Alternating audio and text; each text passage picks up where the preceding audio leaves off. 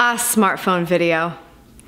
It's running rampant in the world, isn't it? What's up, socials? Happy Sexy Wednesday. I highly encourage smartphone video. Our iPhones are making video that might be better than this Canon T4i that I bought. I'm like, why am I even using this big thing? I could just put my smartphone up here and it would do a great job. But when you're doing on-the-go video, Video is not necessarily the because our cameras can do this gorgeous, flawless HD. However, audio is what will kill a video if it is not good. Yes, we're still settling for bad images, but when the audio sucks, we're like, peace out. That's why today I wanted to tell you about my little secret for on-the-go video, because when I travel, I don't bring my gear. I just use my iPhone 6 Plus and my Rode SmartLav microphone. I'm not using it right now because I actually prefer a boom mic when I'm using an in-studio setup, but when I'm out and about outside or just traveling and things are kind of crazy and I can't really control the environment around me,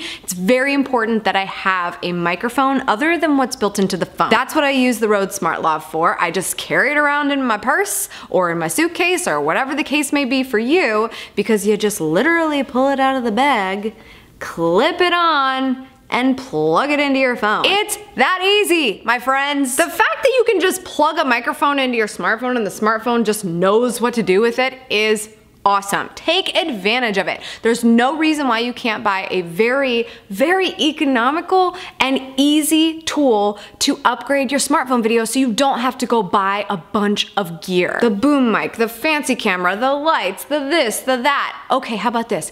Go outside, natural lighting, smartphone, lavalier, you're good to go. There are a lot of different types of smartphone friendly microphones on the market, but I prefer Rode, which is what I use here in studio for the boom mic as well as the lavalier. One thing I do recommend is that this mic is very good. So as much as you might wanna clip it really close to your face, you really don't have to. You could probably have it outside of the frame. See, I would probably clip it down below and it will be just as effective. Test it out, listen to the audio on your smartphone and make sure it's what you want it to be before you go full blown making a video. Always, always, always good to test, especially if you're in the habit of filming all your videos for yourself.